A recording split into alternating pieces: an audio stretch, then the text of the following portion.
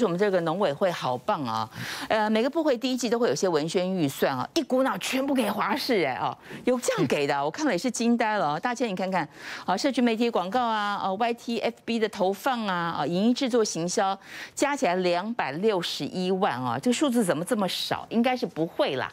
但不管如何哈，账面上这个数字全部给华视，哎，好像第一次看到这种操作是怎样？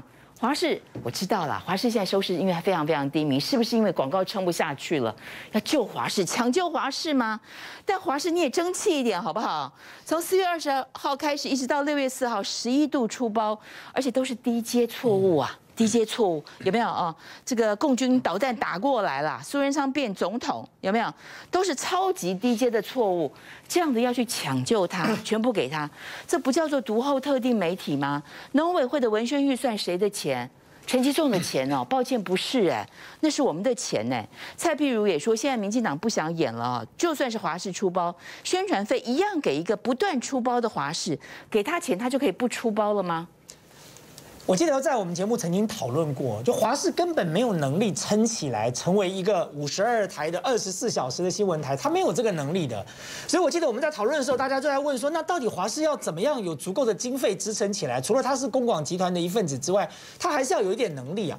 所以其实当时我还记得很多来宾就断言说，最后一定是民进党政府用各式各样的方法输血嘛。这就再一次的证明，它是用输血的方式，用政府各式各样的预算，而且这还是在台面上你看得到的预算哦。对。台面下有多少预算是你看不到的？比如说这个国营事业的子公司、孙公司，这些预算都未必是放到立法院来接受审查的，有很多根本看不见的哦。所以你说这个两百六十一万多不多？当然多啊，因为第一季了。那第二季、第三季、第四季呢？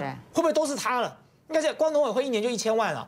这是是这样的算法吗？而且账面上的都给他，那账面下的。而且更怪的一点哦，就是说你政府在发包的过程当中，事实上你对于候选人哦，就得标厂商，你都有一一定的标准跟要求吧？就连续犯了十一次低阶错误，这样的厂商还能够进来接受这个政府的审查吗？这第一关就可以刷掉嘞。你要留下来的媒体，一定要是有足够的影响力，要有一定的收视率，然后要有一定的水平，要有一定的这个能力。问题是华氏完全不符合，在这种情况之下，你到底是什么理由可以让华氏成为这个呃接受审查的资格？然后你最后还可以给他得标？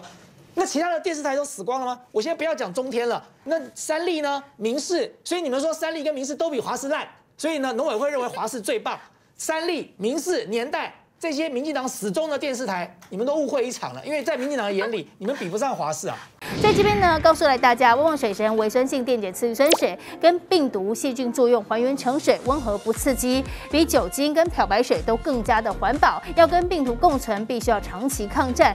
大家赶快来到快点购，输入雅婷的推荐代码 C T I 九九九，就能够享有折扣优惠。